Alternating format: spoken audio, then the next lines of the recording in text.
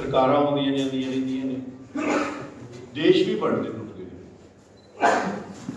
ਪਰ ਜਿਹੜੀਆਂ ਅਕਾਦਮਿਕ ਸੰਸਥਾਵਾਂ ਨੇ ਜਾਂ ਅਕਾਦਮਿਕ ਪਿਰਤਾ ਨੇ ਜਾਂ ਜਿਹੜੀਆਂ ਸੈਂਟਿਕ ਪਿਰਤਾ ਨੇ, ਉਹਨਾਂ ਨੇ ਲੰਬੇ ਸਮੇਂ 'ਚ ਵਿਚਰਨਾ ਉਹਨਾਂ ਦਾ ਸਮਾਂ ਨਾ ਦੇ ਵਾਈਸ ਚਾਂਸਲਰ ਦੀਆਂ ਟਰਮਾਂ 3 ਸਾਲ ਹੁੰਦਾ ਹੈ, ਨਾ ਉਹਨਾਂ ਦਾ ਸਮਾਂ ਸਰਕਾਰ ਦੀਆਂ ਟਰਮਾਂ 5 ਸਾਲ ਹੁੰਦਾ ਹੈ, ਤੇ ਨਾ ਹੀ ਉਹਨਾਂ ਦਾ ਸਮਾਂ ਜਿਹੜਾ ਇੱਕ ਬੰਦੇ ਦਾ ਜੀਵਨ 30 40 50 100 ਸਾਲ ਹੁੰਦਾ ਹੈ। ਤੇ ਨਾ ਹੀ ਮੁਲਕਾਂ ਦਾ ਜੀਵਨ ਜਿਹੜਾ 100 200 300 ਸਾਲ ਤੋਂ ਅਸੀਂ ਨੇਸ਼ਨ ਸਟੇਟ ਦੇ ਪੱਲੇ ਪਏ ਹੋਏ ਸੋ ਕਿਉਂਕਿ ਸਦੀਆਂ ਤੱਕ ਇਹਨਾਂ ਕੰਮਾਂ ਨੇ ਚੱਲਣਾ ਹੁੰਦਾ ਹੈ ਕਿ ਪੁਰਾਣੀਆਂ ਜਿਹੜੀਆਂ ਦੁਨੀਆ ਦੀਆਂ ਯੂਨੀਵਰਸਿਟੀਆਂ, ਮੈਂ ਬਲੋਗਨਾ ਯੂਨੀਵਰਸਿਟੀ ਚ ਗਿਆ ਸੀ 10 ਸਾਲ ਪਹਿਲੇ, ਉਹ 12ਵੀਂ ਸਦੀ ਚ ਬਣੀ ਸੀ। ਅੱਜ ਵੀ ਯੂਨੀਵਰਸਿਟੀ ਦਾ ਰੂਪ ਚੱਲ ਰਹੀ ਹੈ। ਆਕਸਫੋਰਡ, ਕੈਂਬਰਿਜ 5 5 6 600 ਸਾਲ ਪੁਰਾਣੀਆਂ ਹੋ ਗਈਆਂ। ਤੇ ਸਾਡੀਆਂ ਵੀ ਪੁਰਾਣੀਆਂ ਯੂਨੀਵਰਸਿਟੀਆਂ ਜਿਹਨਾਂ ਲੰਦਾ ਯੂਨੀਵਰਸਿਟੀ ਨੂੰ ਸਾੜ ਦਿੱਤਾ ਗਿਆ ਤਾਂ ਉਹ ਹਜ਼ਾਰ ਕੁ ਸਾਲ ਚੱਲੀ। ਫਿਰ ਉਹ ਕੋਈ ਇਹੋ ਜਿਹੀ ਗੱਲ ਹੋਈ। ਜ਼ਰੂਰੀ ਨਹੀਂ ਸੀ ਕਿ ਉਹਨੇ ਸੜ ਜਾਣਾ ਸੀ, ਉਹ ਇਹੋ ਜਿਹੀ ਗੱਲ ਬਣ ਗਈ। ਹੋ ਸਕਦਾ ਸੀ ਉਹ ਅੱਜ ਤੱਕ ਵੀ ਉਸ ਤਰ੍ਹਾਂ ਹੀ ਚੱਲਦੀ ਹੁੰਦੀ ਇਸ ਕਰਕੇ ਅਕਾਦਮਿਕ ਸੰਸਥਾਵਾਂ ਨੂੰ ਇਹ ਜਿਹੜੀ ਗੱਲ ਹੈ, ਇਹਨੂੰ ਸਮਝਣਾ ਚਾਹੀਦਾ ਹੈ ਕਿ ਅਸੀਂ ਜਿਹੜਾ ਵੀ ਕੰਮ ਕਰੀਏ, ਉਹ ਉਸ ਤਰ੍ਹਾਂ ਦਾ ਹੋਣਾ ਚਾਹੀਦਾ ਹੈ, ਜਿਹੜਾ ਲੰਬੇ ਸਮੇਂ ਤੱਕ ਚੱਲ ਸਕੇ ਤੇ ਆਪਣੀ ਮਾਣ ਮਰਿਆਦਾ ਜਿਹੜੀ ਹੈ, ਉਹਨੂੰ ਵੀ ਰੱਖ ਸਕੇ। ਸੋ ਇਹ ਗੱਲ ਦੂਸਰੀ ਤੁਹਾਡੇ ਸਾਹਮਣੇ ਰੱਖਣੀ ਚਾਹੁੰਦਾ। ਸੋ ਮੈਨੂੰ ਆਸ ਹੈ ਕਿ ਜਿਹੜੇ ਵੀ ਅਸੀਂ ਪੁਰਸਕਾਰ ਦੇ ਰਹੇ ਹਾਂ, ਜਿਹੜੇ ਵੀ ਅਸੀਂ ਕੰਮ ਕਰ ਰਹੇ ਹਾਂ, ਜਿਹੜੀਆਂ ਵੀ ਸਾਡੀਆਂ ਅਕੈਡਮੀਆਂ ਨੇ, ਇਹ ਇਸ ਢੰਗ ਨਾਲ ਅੱਗੇ ਵਧਣ ਕਿ ਇਹਨਾਂ ਦਾ ਜਿਹੜਾ ਕੰਮ ਹੈ, ਕੋਈ ਇਹ ਨਾ ਥੋੜੀ ਦੇਰ ਬਾਅਦ, ਉਹ ਅਕੈਡਮੀ ਉਹਦੀ ਕੁਛ ਨਹੀਂ ਕੀ ਫਲਾਣੀ ਅਕੈਡਮੀ ਉਹਦੀ ਕੁਛ ਨਹੀਂ ਇਹਦੇ ਨਾਲ ਜੋੜ ਕੇ ਮੈਂ ਗੱਲ ਕਰਨੀ ਚਾਹੁੰਦਾ ਕਿ ਪੰਜਾਬੀ ਨੂੰ ਸਖਤ ਲੋੜ ਹੈ ਕਿ ਭਾਵੇਂ ਉਹ ਯੂਨੀਵਰਸਿਟੀਆਂ ਰਲਣ ਜਾਂ ਸਰਕਾਰ ਕੁਝ ਕਰੇ ਜਾਂ ਅਕੈਡਮੀ ਐਕਸਲ ਜੇ ਅਕੈਡਮੀਆਂ ਦਾ ਕੰਮ ਅੱਜ ਤੱਕ ਅਸੀਂ ਸ਼ਬਦ ਜੋੜਾਂ ਤੇ ਵੀ ਇੱਕ ਇੱਕ ਮਤ ਨਹੀਂ ਬਣਾ ਸਕੇ। ਇੱਕ ਮਤ ਹੋਣਾ ਚਾਹੀਦਾ ਕੋਈ ਵੀ ਲਿਪੀ ਬੋਲੀ ਉਦੋਂ ਅੱਗੇ ਵੱਧਦੀ ਹੈ, ਜਦੋਂ ਕੋਈ ਅਥਾਰਟੀ ਹੁੰਦੀ, ਜਿਹੜੀ ਕਹਿੰਦੇ ਆਹ ਟਕਸਾਲੀ ਹੈ ਇਹ ਸ਼ਬਦ ਇਸ ਤਰ੍ਹਾਂ ਲਿਖਣਾ ਹੈ, ਉਸ ਤੋਂ ਬਾਅਦ ਕੋਈ ਸਵਾਲ ਨਹੀਂ ਫਿਰ ਪੁੱਛਿਆ ਜਾਂਦਾ। ਇਹ ਇਹ, ਇਹਦੀ ਬਹੁਤ ਜ਼ਰੂਰਤ ਹੈ। ਇਹਦੇ ਬਗੈਰ ਹੋ ਕੀ ਰਿਹਾ ਹੈ ਕਿ ਦੁਨੀਆ ਦੀਆਂ ਜਿਹੜੀਆਂ ਹੋਰ ਭਾਸ਼ਾਵਾਂ ਨੇ, ਉਹਨਾਂ ਦੇ ਮੁਕਾਬਲੇ ਅਸੀਂ ਇੱਕੋ ਸ਼ਬਦ ਇੱਕੋ ਅੱਖਰ ਸ਼ਬਦ ਲਈ ਕਈ ਕਿਸਮ ਦੇ। ਸ਼ਬਦ ਜੋੜ ਵਰਤਦੇ ਨੇ ਤੇ ਲੋਕ ਕਈ ਵਾਰੀ ਸਾਡੇ ਤੇ ਹੱਸਦੇ ਵੀ ਹੈ ਵੀ ਇਹ ਕੀ ਬੋਲੀ ਹੋਈ ਜਿਹਦੇ ਚ ਇਹ ਨਹੀਂ ਇਹ ਨਹੀਂ ਸਾਫ਼ ਵੀ ਕਿਹੜੀ ਗੱਲ ਕਿਵੇਂ ਦੀ ਦੇਖੋ, ਲਿਖਣ ਦੇ ਤਰੀਕੇ ਚ ਅੰਚਲਿਕਤਾ ਹੋ ਸਕਦੀ ਹੈ। ਉਹ ਵੱਖਰੀ ਗੱਲ ਹੈ, ਅਸੀਂ ਸ਼ਬਦ ਘਾਟ ਵੀ ਸਕਦੇ ਹਾਂ। ਸ਼ਬਦਾਂ ਨੂੰ ਜਾਣ ਬੁੱਝ ਕੇ ਵੱਖਰੇ ਢੰਗ ਨਾਲ ਵੀ ਲਿਖ ਸਕਦੇ ਹਾਂ। ਪਰ ਇੱਕ ਟਕਸਾਲੀ ਜਿਹੜਾ ਉਹਦਾ ਰੂਪ ਹੈ, ਉਹ ਤੈਅ ਹੋਣਾ ਚਾਹੀਦਾ ਇਹਦੇ ਵਾਸਤੇ ਕੀ ਕਰਨਾ ਹੈ, ਕਿਵੇਂ ਕਰਨਾ ਹੈ, ਰਲ ਮਿਲ ਕੇ ਵਿਚਾਰ ਕੀਤੀ ਜਾ ਸਕਦੀ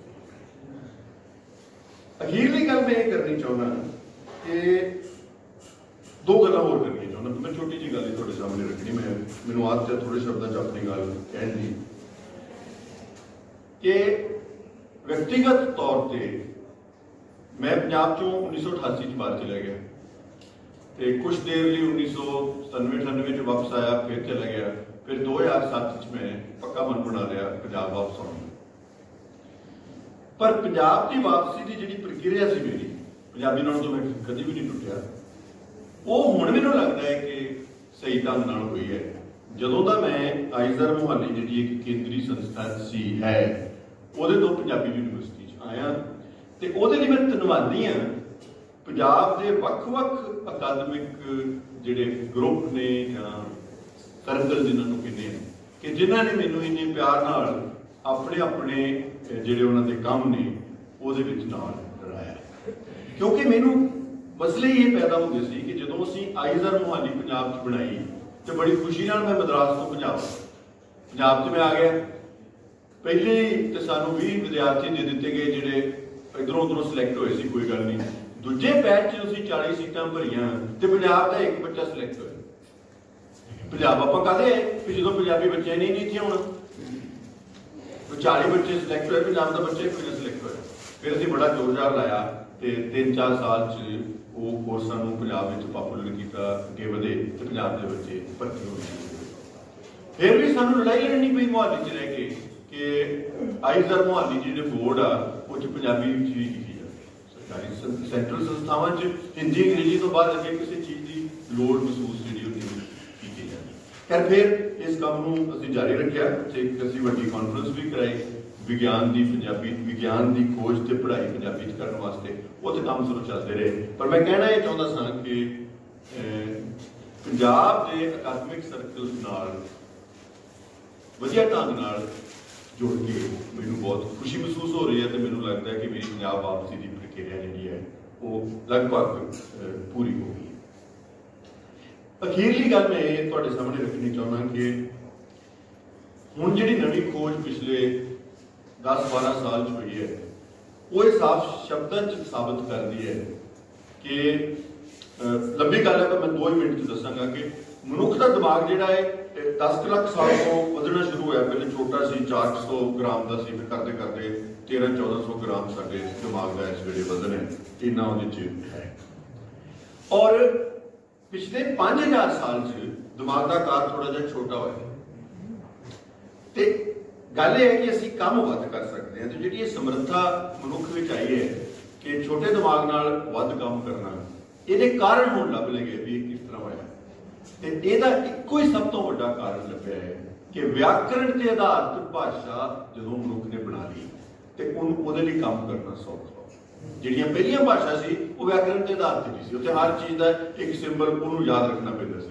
ਤਾਂ ਵਿਆਕਰਣ ਦੇ ਆਧਾਰ ਤੇ ਜਦੋਂ ਭਾਸ਼ਾ ਬਣ ਗਈ, ਤੇ ਜੋ ਸਾਡੇ ਦਿਮਾਗ 'ਚ ਵਿਚਾਰ ਨੇ, ਉਹਨਾਂ ਨੂੰ ਅਸੀਂ ਪੱਥਰ ਤੇ, ਕਾਗਜ਼ ਤੇ, ਭੋਜ ਪੱਤਰ ਤੇ ਲਿਖ ਕੇ ਅੰਕਿਤ ਕਰਨ ਲੱਗ ਪਏ। ਮਤਲਬ ਕਿ ਲੋੜ ਪੈਣ ਤੇ ਉਹਨੂੰ ਦੁਬਾਰਾ ਰੈਫਰ ਕੀਤਾ ਜਾ ਸਕਦਾ ਹੈ। ਉਹਦੇ ਨਾਲ ਹੀ ਮਨੁੱਖਤਾ ਦਾ ਬਹੁਤ ਵੱਡਾ ਵਿਕਾਸ ਹੋਇਆ ਕਿ ਛੋਟੇ ਦਿਮਾਗ ਨਾਲ ਵੱਡਾ ਕੰਮ ਕਰਨ ਦੀ ਕਾਬਲੀਅਤ ਪੈਦਾ ਹੋਈ, ਕਿਉਂਕਿ ਅਸੀਂ ਰਲ ਮਿਲ ਕੇ ਕੰਮ ਕਰਦੇ ਸੋ ਜਿਹੜੀ ਰਲ ਮਿਲ ਕੇ ਕੰਮ ਕਰਨ ਦੀ ਬਿਰਤੀ ਤੇ ਸਮਰੱਥਾ ਹੈ। ਇਹਨੇ ਹੀ ਮਨੁੱਖ ਨੂੰ ਇੱਥੇ ਪਹੁੰਚਾਇਆ ਜਿੱਥੇ ਅਸੀਂ ਹੈ ਤੇ ਉਹਦੇ ਵਿੱਚ ਸਾਹਿਤ ਦਾ ਬਹੁਤ ਵੱਡਾ ਯੋਗਦਾਨ ਹੈ ਕਿਉਂਕਿ ਸਾਹਿਤ ਵੀ ਇਸੇ ਤਰ੍ਹਾਂ ਦਾ ਹੀ ਕੰਮ ਹੈ। ਕਹਿਣ ਨੂੰ ਜੋ ਕੋਈ ਮਰਜ਼ੀ ਕਵੇ, ਪਰ ਲੇਖਕ, ਪਾਠਕ ਲਈ ਹੀ ਲਿਖਦਾ ਹੈ। ਆਪਣੇ ਆਪ ਲਈ ਲਿਖਣ ਵਾਲੀ ਗੱਲ ਜਿਹੜੀ ਹੈ ਉਹ ਕਹਿਣ ਨੂੰ ਤਾਂ ਲੋਕ ਕਹਿੰਦੇ ਆ, ਪਰ ਮੈਨੂੰ ਲੱਗਦਾ ਹੈ ਕਿ ਲੇਖਕ ਅਖੀਰ ਦੇ ਉੱਤੇ ਉਹ ਪਾਠਕ ਲਈ ਲਿਖਦਾ ਹੈ, ਉਹ ਚਾਹੁੰਦਾ ਹੈ ਕਿ ਮੇਰੀ ਲਿਖਤ ਨੂੰ ਕੋਈ ਪੜ੍ਹੇ। ਇਸ ਕਰਕੇ ਰਲ ਮਿਲ ਕੇ ਜੁੜ ਕੇ ਕਰਨ ਵਾਲਾ ਕੰਮ ਹੈ। ਜਦੋਂ ਸਮਾਜ ਬਣਦਾ ਹੈ, ਉਦੋਂ ਹੀ ਸਾਹਿਤ ਸਾਹਮਣੇ ਆਉਂਦਾ ਹੈ। ਸੋ ਇਸ ਕਰਕੇ ਸਾਨੂੰ ਬਹੁਤ ਜ਼ਰੂਰਤ ਹੈ ਕਿ ਅਸੀਂ ਪੰਜਾਬੀ ਭਾਸ਼ਾ ਦਾ ਅੱਗੇ ਵਿਕਾਸ ਕਰੀਏ। ਤੇ ਪੰਜਾਬੀ ਭਾਸ਼ਾ ਦਾ ਵਿਕਾਸ ਉਦੋਂ ਹੀ ਹੋਏਗਾ ਜਦੋਂ ਇੱਕ ਤੇ ਦਾ ਟਕਸਾਲੀ ਰੂਪ ਅਸੀਂ ਸਾਹਮਣੇ ਲਿਆਵਾਂਗੇ। ਦੂਸਰਾ, ਅਸੀਂ ਇਹਨੂੰ ਹਰ ਕੰਮ ਨਾਲ ਜੋੜਾਂਗੇ। ਇਹਦੀ ਬਹੁਤ ਜ਼ਰੂਰਤ ਹੈ ਕਿ ਪੰਜਾਬੀ ਨੂੰ ਹਰ ਕੰਮ ਲਈ ਵਰਤਿਆ ਜਾਵੇ। ਇੱਕ ਮੈਂ ਜ਼ਰੂਰ ਥੋੜਾ ਜਿਹਾ ਮੈਨੂੰ ਹੈ ਇਸ ਗੱਲ ਦਾ ਗਿਲਾ ਕਿ ਪੰਜਾਬੀ ਨਾਲ ਜੁੜੀਆਂ ਸੰਸਥਾਵਾਂ ਸਾਹਿਤ ਤੋਂ ਅੱਗੇ ਸੋਚਣ ਦੀ ਘੱਟ ਉਹਨਾਂ ਦੀ ਬਿਰਤੀ ਜਿਹੜੀਆਂ ਭਾਸ਼ਾਵਾਂ ਅੱਗੇ ਵਧੀਆਂ ਨੇ, ਉਹ ਸਾਹਿਤ ਦੇ ਨਾਲ ਨਾਲ ਭਾਸ਼ਾ ਨੂੰ ਹਰ ਉਸ ਚੀਜ਼ ਨਾਲ ਜੋੜਨ ਦੀ ਗੱਲ ਕਰਦੀਆਂ ਨੇ, ਜਿਹਦੇ ਚ ਮਨੁੱਖ ਕਾਰਜਸ਼ੀਲ ਹੁੰਦਾ ਹੈ। ਭਾਵੇਂ ਉਹ ਸਾਡੀਆਂ ਅਦਾਲਤਾਂ ਹੋਣ, ਭਾਵੇਂ ਉਹ ਸਾਡੇ ਡਾਕਟਰਾਂ ਦੀਆਂ ਪਰਚੀਆਂ ਹੋਣ। ਇਹਨਾਂ ਸਾਰੀਆਂ ਚੀਜ਼ਾਂ ਨਾਲ ਪੰਜਾਬੀ ਨੂੰ ਜੁੜਨਾ ਪਏਗਾ ਤਾਂ ਕਿ ਪੰਜਾਬੀ ਦਾ ਇੱਕ ਮਾਹੌਲ ਬਣੇ ਤੇ ਮੈਂ ਕਹਿੰਦਾ ਹੁੰਦਾ ਕਿ ਪੰਜਾਬੀ ਮੁੜ ਉਸੇ ਤਰ੍ਹਾਂ ਫੈਸ਼ਨ ਚ ਆ ਜਾਏ, ਜਿਸ ਤਰ੍ਹਾਂ ਇਹ ਪੰਜਾਬ 'ਚ ਹੋਣੀ ਚਾਹੀਦੀ ਹੈ। ਇਸ ਵੇਲੇ ਪੰਜਾਬੀ ਪੰਜਾਬ 'ਚ ਫੈਸ਼ਨ 'ਚ ਨਹੀਂ ਹੈ।